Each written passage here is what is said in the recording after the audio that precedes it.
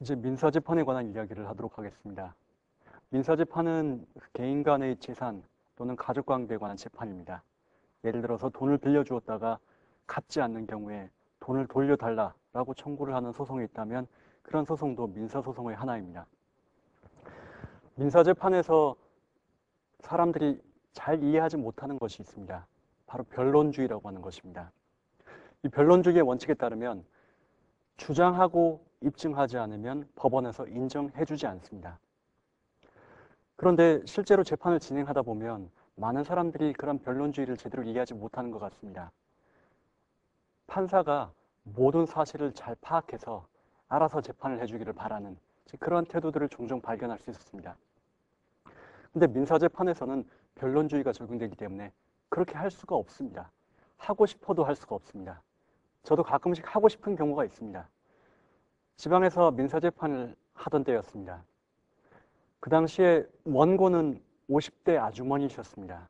그리고 피고는 이제 역시 50대 아주머니시지만 실제 법정에 나오신 분은 아주 유명한 변호사이셨습니다. 자, 한쪽은 전혀 법적인 경험이 없는 분이셨고 다른 한쪽은 아주 유명한 변호사이셨습니다.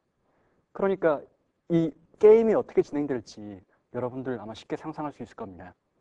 그런데 제가 사건의 내용을 봤더니 이 원고, 즉 50대 아주머니가 이길 수도 있는 사건이었습니다. 그래서 제가 젊은 마음에 조바심이 생겼습니다. 아, 이걸 이렇게 주장하고 저 증거를 내면 아주머니가 이길 수도 있을 텐데 하는 생각이 자꾸 들었습니다. 그리고 소박한 정의감에 아주머니가 이길 수 있도록 도와줘야 되겠다는 생각이 자꾸 들었던 거죠. 그런데 판사가 어느 한쪽 편을 들어서는 안 되는 거거든요. 아마 저의 그러한 마음이 그 유명한 변호사님에게 들켰던 모양입니다. 그래서 저는 그 변호사에게 편파적으로 재판을 진행한다 라고 하는 항의를 받았습니다. 어떻게 보면 민사재판을 한다는 것은 외로운 줄타 판사가 봤을 때 이겨야 마땅한 사람이 있는데도 불구하고 그 사람이 제대로 주장하지 않고 입증하지 않아서 져야만 하는 경우 이런 경우가 사실 굉장히 마음을 힘들게 하는 경우입니다. 어, 사실 입증을 위해서는 증거가 필요합니다. 증거가 있어야 이길 수 있다라고 하는 것은 증거 재판주의라고도 표현할 수 있습니다. 가끔씩 이것은 안타까운 결과를 가져옵니다. 그러니까 진실에 반하는 결론이 나올 수도 있다는 것이죠. 예를 들어서 여러분이 돈을 빌려준 것이 분명한 진실인데도 아무런 증거를 댈 수가 없고 상대방이 부인해서 그래서 법원에서 재판에 지는 경우도 분명히 발생할 수 있습니다. 따라서 법원에서 선언한 이른바 의제된 진실과 실제 진실은 늘 일치하지 않습니다. 저는 법을 전공하다 보니까 제 주위에 있는 친구나 지인들이 저에게 법적인 상담을 요청하는 경우가 많이 있습니다. 처음엔 그것이 어떻게 보면 굉장히 즐겁고 보람이 있었습니다. 그런데 그걸 하다 보면 곤혹스러운 상황도 종종 발생합니다. 이제 그 중에 한 사건은 사기 사건이었습니다. 제가 아는 분이 사기를 당했고 그래서 그 사기당한 피해 금액을 회복하기 위해서 민사 소송을 제기했습니다. 그리고 나서 그 소송을 어떻게 진행하면 좋을지 저에게 찾아왔습니다. 그런데 제가 봤더니 그걸 입증할 만한 증거가 별로 없었습니다. 그래서 저는 다소 차갑게 증거가 있어 이길 수 있다. 증거가 없으면 아무리 정의로운 사람도 재판에서 이길 수가 없다라고 얘기를 했습니다. 계속해서 그걸 설득하려고 했더니 이분이 굉장히 섭섭해 했습니다. 어떻게 우리 사법제도가 이럴 수 있느냐. 우리 사법제도가 제대로 된 것이라면 진정 피해를 입은 불쌍한 사람을 알아서 구제해줘야 되는 것 아니냐. 그런 이야기를 들으면서 저는 다시 한번 변론주의에 대해서 생각할 수가 있었습니다. 이제 오늘날 우리가 가지고 있는 민사재판의 제도는 더 이상 조선시대 원룸재판이 아닙니다. 결국 각 당사자가 자신의 이익을 위해서 주장하고 입증해야 합니다. 조금 과장해서 이야기하자면 판사는 민사재판에 있어서 마치 그 축구 경기의 심판과 같습니다. A팀과 B팀이 서로 축구 경기를 한다고 생각해 보십시오. 심판이 볼 때 A팀의 실력이 훨씬 뛰어납니다. 정의로운 결과는 뛰어난 팀이 이기는 것. 즉 A팀이 승리하는 것이죠. 그런데 A팀이 별로 운이 없어요. 찬스가 잘 오지 않습니다. 그래서 심판이 정의감에 불타서 A팀과 함께 공을 차고 뛴다면 그것은 바람직한 심판의 모습이라고 할 수 있겠습니까? 결과적으로 B팀이 이기더라도 심판은 심판입니다. 민사재판도 조금 가정해서 이야기하면 그런 절차입니다. 따라서 당사자와 변호사가 어느 만큼 주장을 잘하고 입증을 잘 하느냐에 따라서 결론이 달라질 수가 있습니다. 이러한 증거재판주의 때문에 계약서를 가급적 쓰는 것이 좋습니다.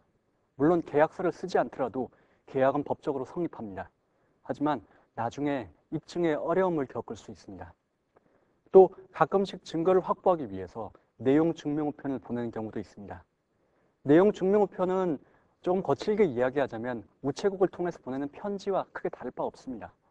다만 언제 어떤 내용의 문서를 발송하였는지를 우체국에서 공적으로 증명해주는 일종의 등기우편입니다. 이것은 나중에 중요한 증거로서 기능할 수가 있게 됩니다. 하지만 예를 들어 여러분이 돈을 빌려주고 상대방이 돈을 갚지 않는 상황에서 돈을 갚으라 라고 내용 증명 우편을 보내는 것만으로 그것이 충분한 증거가 될 수는 없습니다. 결국 그 우편의 내용은 여러분의 주장을 반복한 것에 불과하기 때문입니다. 하지만 상대방이 만약 여기에 대해서 답변을 해온다면 문제는 달라질 수 있습니다. 예를 들어서 언제까지 갚겠다라고 답변을 하면 그 답변 자체가 중요한 증거가 될 수 있습니다. 또는 뭐 꼭 그런 답변을 보내지 않더라도 인간적으로 그럴 수 있느냐라는 정도의 어, 편지만 보내더라도 그 편지 자체도 또 하나의 증거가 될 수가 있습니다. 사실 제가 여러분들에게는 계약서를 꼭 쓰라고 이야기하지만 그 쉽지 않다는 것도 잘 알고 있습니다. 저는 뭐 그렇게 부자가 아니라서 거액을 다른 사람들에게 빌려준 경험은 많지는 않습니다. 하지만 제 입장에서 거액이라고 할 수 있는 100만 원을 초과하는 금전거래, 제가 채권자가 되고 제가 잘 아는 사람이 채무자가 된 거래, 지금까지 돌이켜보면 한 다섯 번 정도 있었던 것 같습니다. 물론 그 중에는 제 처에게 비밀로 하는 그 거래도 있었고요. 근데 재밌는 것은 단 한 번도 돈을 받은 적이 없습니다. 그리고 대부분 친구들과 사이가 멀어졌습니다. 저는 다른 사람들에게 늘 계약서를 쓰라고 이야기했지만 한 번도 계약서를 쓴 적이 없습니다. 그래서 현실적으로 우리 법 문화, 법 감정, 그 다음에 지금 제가 여기서 이야기하는 것 사이에 괴리가 있다는 것 알고 있지만 궁극적으로는 그렇게 가야 되는 것 아닌가 생각이 됩니다. 이제 금전 청구 소송은 가장 흔한 민사 소송 유형입니다. 대여금, 보증금, 구상금, 손해배상금, 부당이득금 등 여러 가지 사건명 또는 사건 유형이 바로 이 금전 청구 소송에 포함됩니다. 어, 보통 이 대여금 사건에서 문제가 되는 것이 이자입니다. 특히 사채를 빌릴 때 고리가 문제가 됩니다. 2008년 6월 기준으로 국민들이 빌려 쓴 사채 규모가 약 10조 원이라고 합니다. 그리고 사채업자는 약 2만 3천여 곳이고 그 중에 등록된 사채업자는 약 1만 7,800여 곳이라고 합니다. 보통 사채업자는 공적 금융기관이 아니면서 돈을 빌려주거나 중개해주는 사람 또는 기관을 이야기합니다. 예를 들어서 시중은행, 제1금융권이라든지 저축은행, 제2금융권의 제도권 금융기관에 속해 있지, 않, 있지 않지만 금융 기능을 수행하는 사람들입니다. 어, 이 몇 가지 통계를 더 보면요. 2008년 6월을 기준으로 사채를 가장 많이 이용하는 연령층은 30대로서 전체 이용자의 40%를 차지한다고 합니다. 직업별로는 회사원이 45%를 차지한다고 합니다. 원래 우리나라에서는 이자 제한법을 가지고 있었습니다. 그런데 그 IMF 구제금융이 개시되면서 그 구제금융의 조건으로 이자 제한법을 폐지할 것을 요구했습니다. 그래서 1998년에 이자 제한법이 폐지됩니다. 최근에 이자 제한법이 부활했습니다. 2008년부터 이자 제한법이 시행되기 시작했는데요. 어, 지금 현재로서는 연 30%의 이자 제한이 적용되고 있습니다. 그리고 대부업법의 경우에는 연 49%의 이율이 적 여러분이 돈을 빌려주고 받겠다고 해서 소송을 제기해서 판결에서 승소했다고 가정 그 승소 판결을 받았다고 생각해 봅시다. 그런데 그게 전부가 아닙니다. 여러분이 승소 판결을 받았다고 하더라도 여러분의 손에 돈이 들어오는 것이 아닙니다. 마냥 기뻐할 일이 아닙니다. 그리고 판사가 여러분의 돈을 대신 받아주는 게 아닙니다. 만약 상대방이 임의로 자신의 채무를 변제하지 않으면 이제 그 머나먼 강제 집행 절차를 밟아야 합니다. 우선 채무자에게 재산이 있는지 없는지를 살펴보아야 합니다. 재산이 있어야 그 재산을 압류하고 환가해서 돈을 받을 수 있기 때문입니다. 보통 가장 가치 있는 재산은 부동산이죠. 그래서 채무자에게 부동산이 있으면 참 다행이지만 그렇지 않고 재산이 없는 경우도 많습니다. 그러면 아무리 법원에서 승소 판결을 선고해 주더라도 여러분이 현실적으로 돈을 받기가 어렵게 됩니다.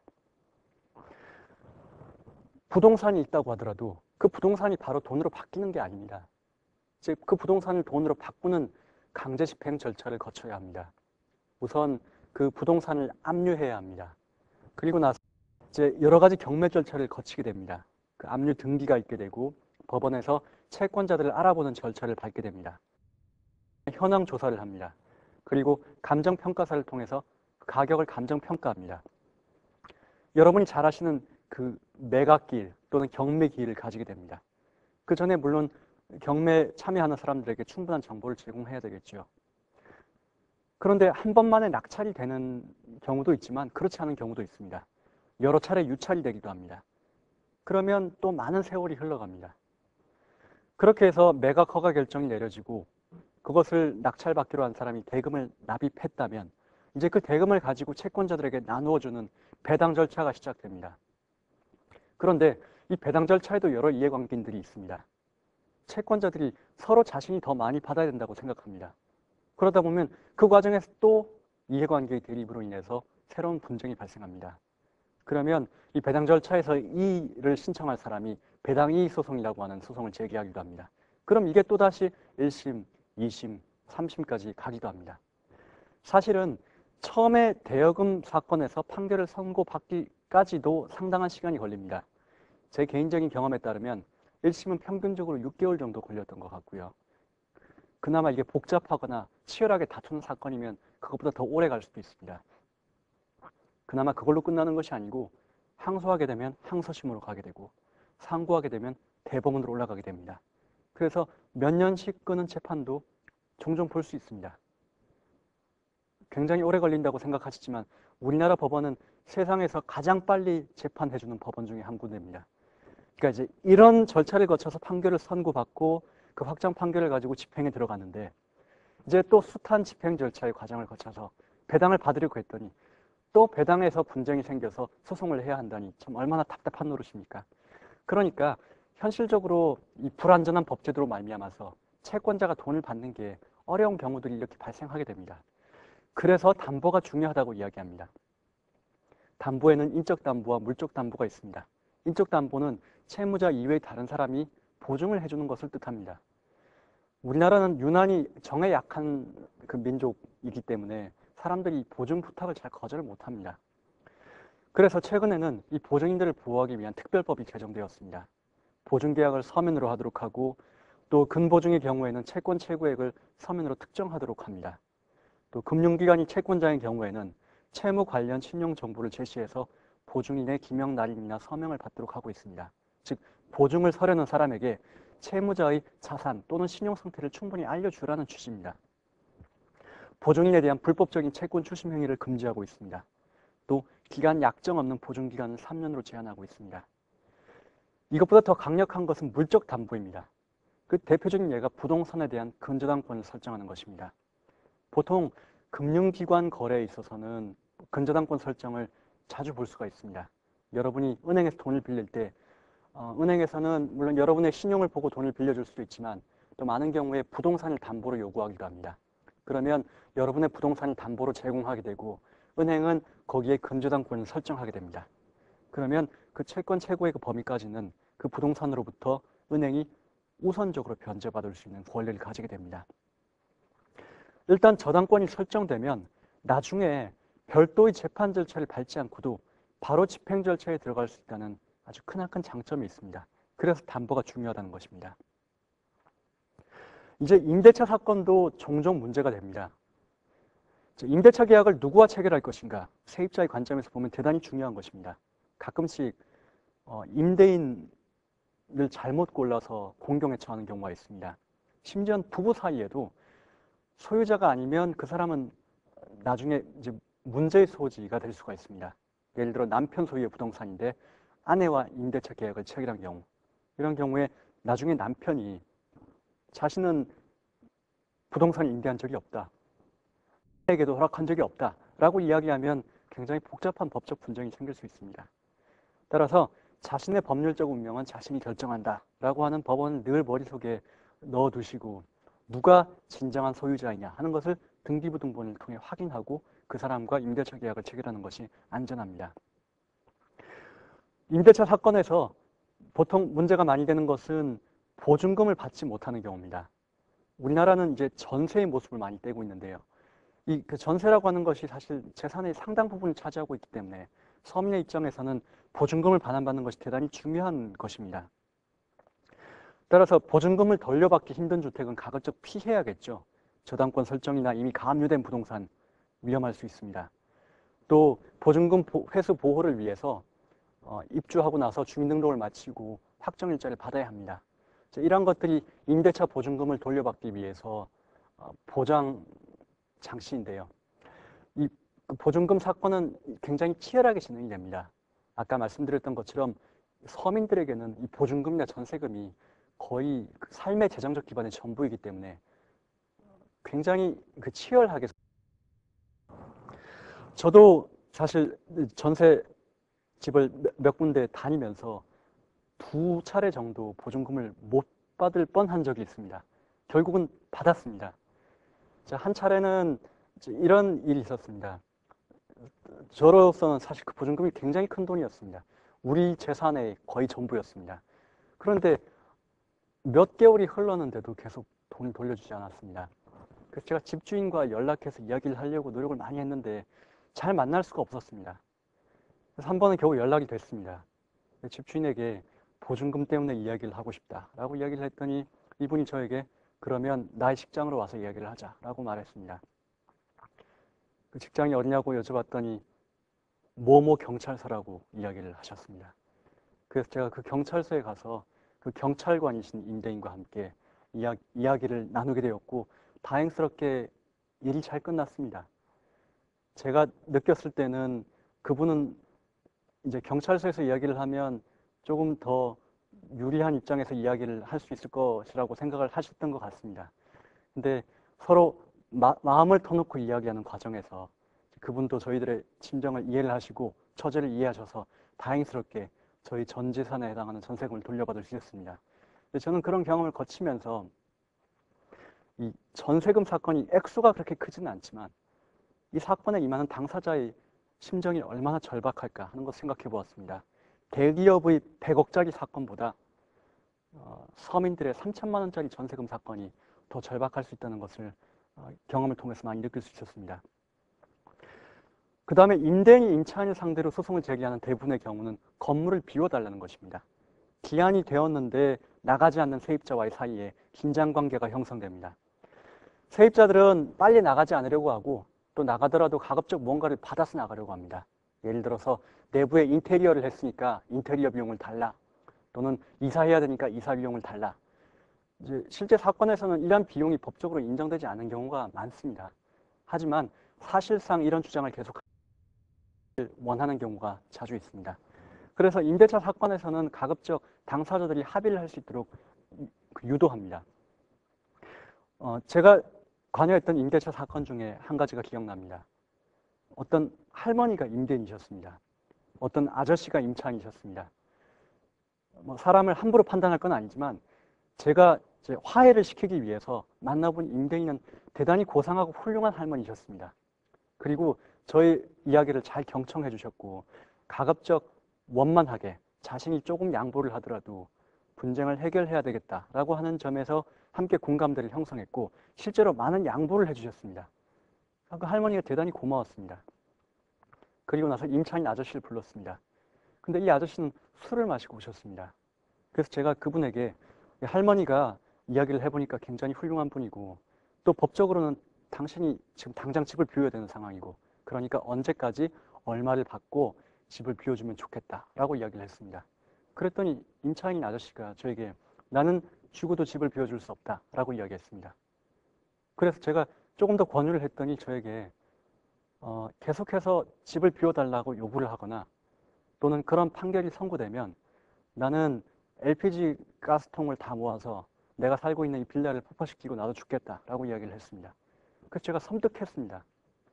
정말로 그럴 수 있는 사람일까에 대해서는 약간의 의문이 들었지만 그래도 혹시나 그런 사건이 발생하면 너무나 큰 비극이기 때문에 이제 그때부터 임차인 달래기에 들어갔습니다.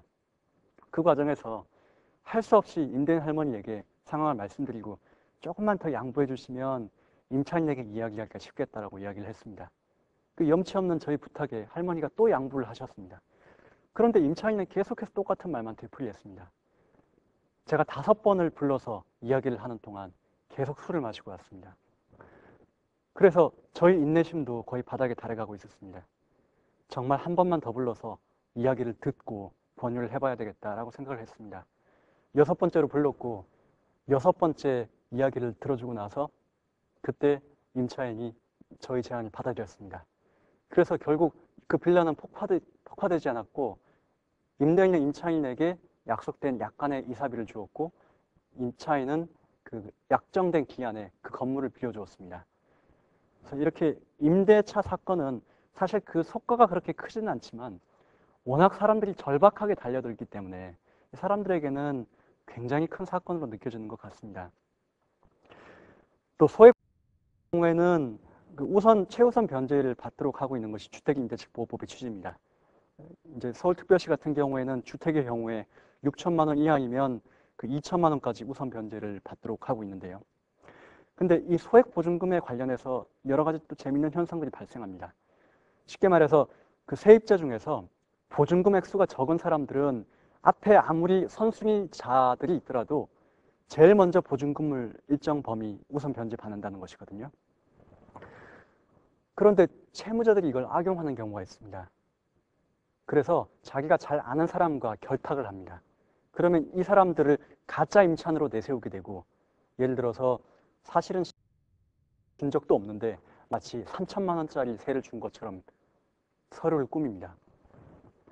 그러면 이제 이 사람들은 누구보다도 우선적으로 그 돈을 배당받게 됩니다. 지금 현재 서울특별시 같은 경우 2천만 원까지 우선 변제를 받으니까 2천만 원 받게 되죠. 그럼 그 2천만 원을 채무자에게 줍니다. 채무자는 이러한 방법을 취하지 않으면 그 돈을 모두 뺏길 상황인데 친구를 내세워서 2천만 원을 확보하게 되는 겁니다. 물론 그 과정에서 그 친구도 약간의 커미션을 받을 수가 있겠죠. 그래서 이것을 가장 임차인이라고 이야기합니다.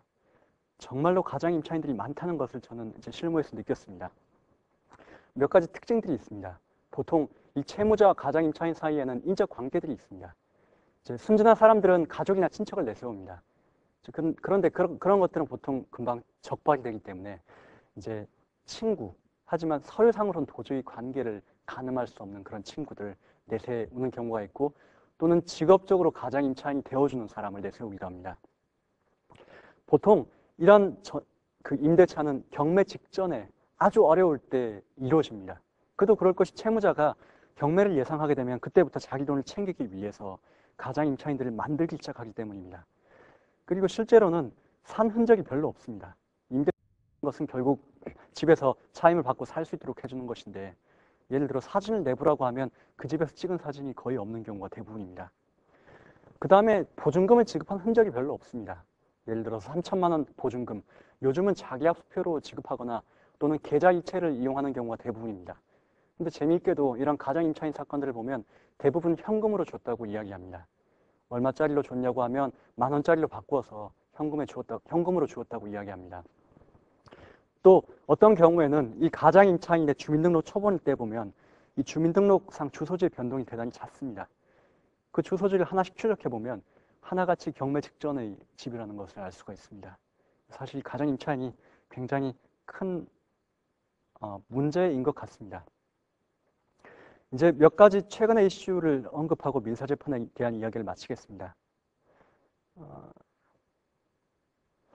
망인이 유언으로 매장 장소를 지정한 경우의 그 효력에 관한 사건입니다. A라는 사람이 있었습니다. 1947년에 B와 혼인했고 3남 3녀의 자녀를 두었습니다. A는 남자입니다. 그런데 이른바 첩이 있었습니다. 그래서 C라고 하는 첩과 동거를 하기 시작했습니다. 1961년 이후입니다. 그리고 자녀들을 두었습니다. 2006년에 A가 사망하게 됩니다. 그러자 A는 그 후처의 자식들과 함께 살고 있었기 때문에 후처의 자식들에게 내가 양평공원 묘원에 묻히고 싶다라고 이야기를 합니다. 그래서 그 공원 묘지에 묻히게 됩니다. 그랬더니 본처의 장남, 이 사건의 원고입니다. 본처의 장남이 어떤 소송을 제기했냐면 아버지의 시신을 나에게 넘기라 라는 소송을 제기합니다. 사실 이런 소송은 별로 없습니다. 굉장히 특이한 사건입니다. 요약하면 본처의 장남이 후처의 자녀들을 상대로 아버지의 유체를 나에게 인도하라 라는 청구를 한 겁니다. 여기에서 뭐 시체에 대한 이야기 몇 가지를 좀 하죠. 시체가 물건인가요? 이것에 대해서 답변하려면 우선 사람의 몸이 물건이냐 하는 것을 생각해 볼 수가 있는데요. 사람의 몸은 물건이 아닙니다. 물론 사람의 몸에서 분리되어서 거래의 객체가 되는 경우가 있습니다. 머리카락을 잘라서 파는 경우도 있고요. 혈액을 파는 경우도 있습니다. 근데 그런 예외적인 경우를 제외한다면 사람의 몸은 원칙적으로 물건이 아닙니다. 그런데 사람이 사망하면 더 이상 사람이 아닌 거죠. 그래서 사망한 이후에 남게 된 시체는 원칙적으로 물건입니다. 그래서 인도의 대상이 될 수 있습니다. 사람을 넘겨달라고 하는 청구는 원칙적으로 인정되지 않지만 시체를 넘겨달라고 하는 청구는 그래서 가능한 것입니다. 다만 그 시체, 시신 또는 유골은 굉장히 특수한 물건입니다. 이것은 일반적인 사형 수익 처분의 대상이 아니라 어, 매장하고 관리하고 제사하고 공양해야 하는 아주 특수한 물건이라고 할 수가 있습니다. 이 사건도 바로 그 시체를 넘겨달라고 하는 사건이었습니다. 어, 결국 여기에서 쟁점이 되었던 것은 누가 제사를 주재하는 사람이냐는 것이었습니다. 왜냐하면 우리 민법 제 1008조의 3에서는 제사 주재자에, 주재자에 대해서 규정을 하고 있고 대법원은 결국 아버지의 시신은 제사를 주재하는 사람에게 속한다. 라는 전제 위에서 판단을 했던 것입니다. 그러면서 이 사건에서는 일단 상속인이 협의로 제사 주자를 정하되 협의가 되지 않으면 장남 또는 장손자 이들도 없으면 장녀가 제사 주자가 된다라고 이야기를 했습니다. 그런데 여기서 장남은 본초의 장남을 얘기하는 것이기 때문에 결국 원고가 이겼습니다. 이제 이 판시 내용에서 특별할 만한 것은 여자도 제사 주제자가 될 수 있다는 것. 그것을 지적했다는 것이고요.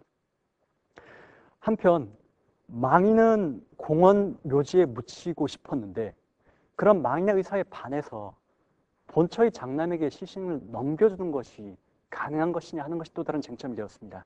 즉 망인이 유언으로 특정한 장소에 묻히고 싶은데 그 의사를 무시하고 장남에게 넘기는 것이 가능하냐 하는 문제였습니다. 여기에 대해서 다수 의견은 그것은 어디까지나 도의적인 의무이고 법적인 의무가 아니다. 따라서 넘겨주는데 문제가 없다라고 이야기를 했습니다. 반면 소수 의견은 아니다. 막내 유언은 법적으로도 존중되어야 한다. 사람이 어디에 묻힐지를 결정할 수 있어야 하고 그런 결정은 사후에도 존중되어야 한다 라고 이제 본 겁니다. 최근에는 이제 인터넷과 관련된 여러 가지 법적인 문제점들이 등장하고 있습니다. 여러분들이 잘 아시는 것처럼 인터넷에는 순기능도 있고 역기능도 있죠. 현실적으로 인터넷에서는 많은 안 좋은 일들이 벌어지고 있습니다. 명예훼손도 있고 모욕도 있고 저작권 침해도 있고 또 음란물도 업로드되고 있습니다. 명예훼손의 경우에는 실제로 댓글을 통해서 문제가 되는 경우가 많지요. 그런데 이때 누가 댓글을 올렸는지 특정하기가 어렵습니다. 그리고 특정한다고 하더라도 그 개인에게는 충분한 재산이 없는 경우가 많습니다. 그래서 사람들이 생각해낸 것이 포털 사이트를 상대로 소송을 제기하는 것입니다. 우리나라의 유명한 포털 사이트들, 뭐 다음이라든지 하이텔, 아, 하이텔은 옛날 거죠. 다음, 뭐 엠파스, 네이버 이런 여러 가지 포털 사이트들이 있는데 이런 포털 사이트들을 대상으로 명예훼손적인 글이 올라왔는데 왜 그것을 제때 지우지 않았느냐. 그것으로 인해서 나의 명예가 훼손되었다라고 해서 손해배상 청구를 하는 경우들이 있습니다. 지금 그 대법원에도 그런 사건들이 계속 계류 중이고요. 사실 이런 것들은 굉장히 민감한 주제인 것 같습니다. 왜냐하면 한편으로는 개인의 인격권을 보호해야 하는 문제가 있고 다른 한편으로는 또 표현의 자유를 보호해야 하는 문제가 있기 때문입니다. 법의 문제가 늘 그러하듯이 여기에서도 결국 두 개의 상반된 가치가 서로 충돌하고 있고 이제 법을 공부하는 사람은 그 가치 충돌의 장에서 어디에 과연 적정한 선을 그어야 하느냐 하는 것을 고민해야 합니다. 이것도 그런 것입니다. 과연 포털 사이트에게 계속해서 댓글을 모니터링하고 삭제할 법적인 의무를 지우는 것이 타당하냐, 타당하지 않느냐 하는 것을 고민해야 하는 것입니다. 그래서 이제 어떤 입장에서는 포털 사이트가 워낙 커졌고 또 사회적으로 많은 그 이윤을 올리고 있기 때문에 법적 책임을 져야 한다. 모니터링해서 그때그때 삭제를 하고 그렇게 해서 개인의 인격권을 보호해줘야 한다라고 얘기를 하기도 합니다. 반면 어떤 입장에서는 그것은 현실적으로 너무나 많은 비용이 든다. 하루에도 정말로 많은 댓글들이 올라오는데 언제 그런 것들을 전부 스크린해서 판단을 해서 지울 수 있겠느냐. 그것은 모두 비용을 발생시키는 것이고 그 비용은 궁극적으로 네티즌들에게 전가될 것이다. 더 나아가서 이와 같이 글을 삭제하는 것은 표현의 자유를 위축시킬 것이다. 표현의 자유라고 하는 것은 굉장히 중요한 가치인데 결국 이런 검열 과정을 통해서 인터넷의 표현의 자유가 위축된다면 그것은 사회에 더 큰 부작용을 가져오는 것이다. 이렇게 주장을 합니다. 그래서 그 인터넷을 둘러싼 여러 가지 가치 충돌 앞으로도 자주 문제가 될 것으로 생각합니다. 마지막으로 미행, 추적, 사진 촬영에 대한 사건 하나를 간단하게 말씀을 드리겠습니다. 이것은 2006년에 대법원에서 선고된 판결의 사안입니다. 어떤 교통사고 피해자가 있었습니다. 그런데 보험회사가 봤더니 교통사고 피해자들이 별로 다친 것 같지 않았습니다. 그래서 교통사고 피해자들을 8일간 미행하면서 추적하면서 사진 촬영을 했습니다. 예를 들어서 아파트, 직장 주차장, 차량 수리업소 마당, 그리고 자녀의 어린이집 주변 도로 이처럼 일반인들에게 공개된 장소를 따라다니면서 몰래 사진을 촬영했습니다. 이제 교통사고 피해자들이 이것은 초상권을 침해하고 사생활의 자유를 침해한 것이다 라고 해서 위자료 청구권을 행사하게 되었습니다. 어떻게 생각하십니까? 우선 보험회사 입장을 생각해 보시기 바랍니다. 실제 가짜 교통사고 환자가 꽤 있는 것 같습니다. 그리고 이것을 근절하기 위해서 어, 굉장히 많은 노력을 기울이고 있습니다. 한편 보험회사 측에서는 이렇게라도 교통사고 환자를 가려내지 않으면 사실 어, 가짜라는 것을 입증하기가 굉장히 어렵다라고 항변을 합니다. 하지만 또 사진을 찍히는 입장에서는 얼마나 기분이 나쁘겠습니까? 아이를 데리러 어린이집에 갔는데 어디서 누군가가 자신을 주시하면서 사진을 촬영했다고 생각해 보십시오. 그로 인한 정신적 피해도 만만치 않을 것입니다. 여기에선 또 초상권이라든지 사생활의 보호와 같은 인격적 가치, 또 상대편에서는 그 보험회사가 추구해야 할 재산적 이익 또는 진실 이익 이런 것들이 함께 존재하고 있습니다. 그리고 이러한 가치 충돌을 장해서 법원이 과연 어떻게 선을 그어야 할 것인가를 고민을 해야 할 겁니다. 실제로 이 사건에서는 어, 대법원은 이것은 초상권을 침해한 위법한 행위이기 때문에 손해배상을 해줘야 된다라고 판결을 선고했습니다. 원래 그 고등 아, 죄송합니다. 서울고등법원이 아니고 서울중앙지방법원이 항소심이었는데 그 서울중앙지방법원에서는 어, 대법원과 다른 결론을 내렸었습니다. 그래서 이제 이것만 보더라도 어, 민사재판을 진행함에 있어서 굉장히 많은 가치 충돌이 있고 또 같은 법원에 근무하는 판사들 사이에도 견해가 달라질 수 있다는 것을 잘 보여주고 있습니다.